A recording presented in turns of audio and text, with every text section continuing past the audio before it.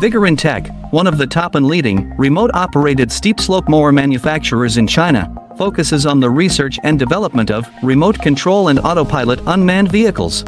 Remote control lawn mower is our current main product, widely used in lawn mowing and weed cutting, suitable for orchard, steep incline, front yard, wasteland, wildfire prevention, sapling and so on.